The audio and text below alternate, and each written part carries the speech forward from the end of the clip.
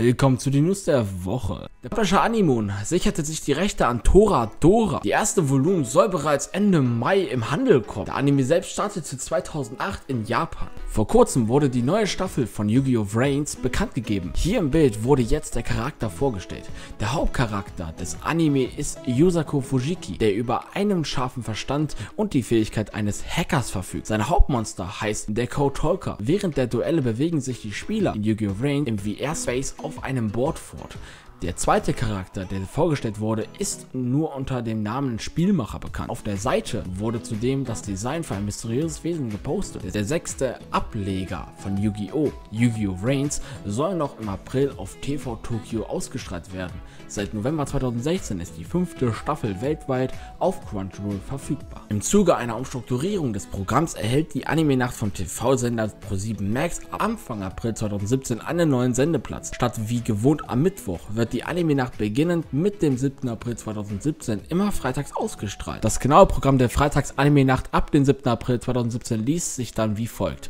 22.05 Uhr Death Note, 22.35 Uhr Psychopath, 23.05 Uhr Seraph of the End, 23.35 Uhr The Testament of Sister New Devil, 0.05 Uhr High School DxD. Auf einem Event zum Bungo Stray Dogs Franchise wurde am Sonntag bekannt gegeben, dass ein Film zur Serie in der Mache ist. Bungo Stray Dogs basiert auf den gleichnamigen Manga-Reihe von Kafka Asagiri und Sango Harukawa, die seit 2009 im Young Ace veröffentlicht wird und mittlerweile neun Sammelbänder umfasst. Die Anime-Adaption entstand im renommierten Animationsstudio Bones. In Deutschland lief die Serie bei Crunchyroll als Simulcast ist. Der Manga Kakegurui bekommt eine Anime-Adaption. Yoshiro Hayashi wird unter Studio Mappa die Regie der Anime-Adaption zu Homura Kawamotos Manga Kakegurui übernehmen. Wann genau der Anime erscheinen wird, ist noch unklar. Das Team wurde allerdings bereits bekannt gegeben. Neben Regisseur Yoshiro Hayashi sind Drehbuchautor Yasuko Kobayashi und Charakterdesigner Manabu Akita mit an Bord. Die Handlung vom Manga wird genauso beschrieben. Auf der Hayako Akademie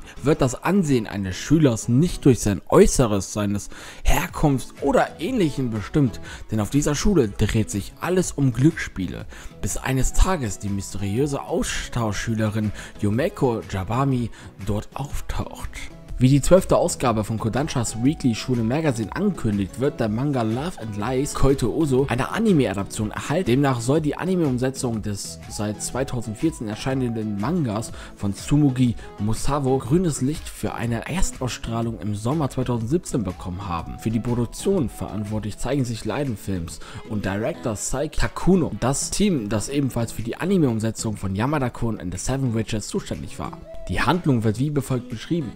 Lügen sind verboten, Liebe ist noch verboten. In einer nicht allzu weit entfernten Zukunft wird der Ehepartner in Japan von der Regierung ausgewählt, sobald man 16 Jahre alt wird. Yukari Nejima ist ein 15 Jahre alter Junge, der in einer Ecke von Japan lebt und nie viel aus sich selbst gemacht hat. Bei den Schulnoten und im Sport ist er unter dem Durchschnitt angesiedelt. In seinem Herzen versteckt er jedoch eine leidenschaftliche Liebe. Wie sieht das Leben eines verliebten Jungen aus, der in einer Welt lebt, in der Liebe verboten ist? Im aktuellen Newsletter von KC Deutschland wurde bekannt gegeben, dass der Publisher sich auch die Rechte für den vierten Kinofilm von Death Note gesichert hat. Wann dieser erscheint, ist noch nicht bekannt.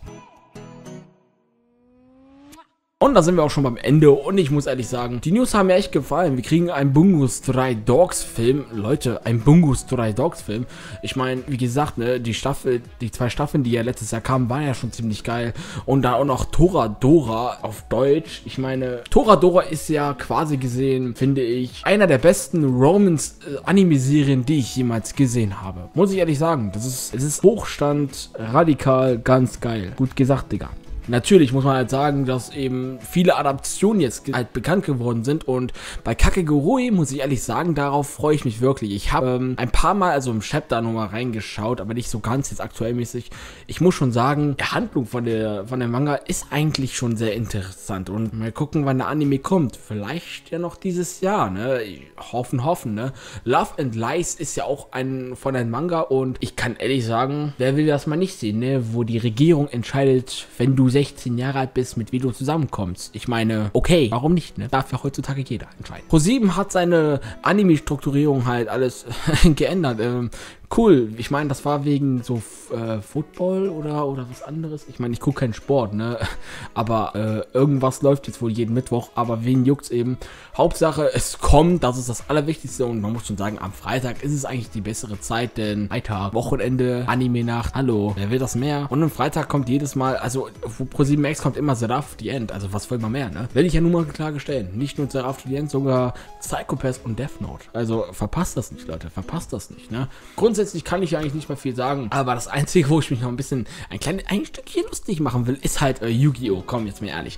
Diesmal, ich weiß nicht, Arc 5 habe ich jetzt noch nicht so richtig geguckt, ne? Ähm, ich weiß aber, dass 5Ds ja noch mit, äh, also mit so Motorräder äh, gefahren ist, ne?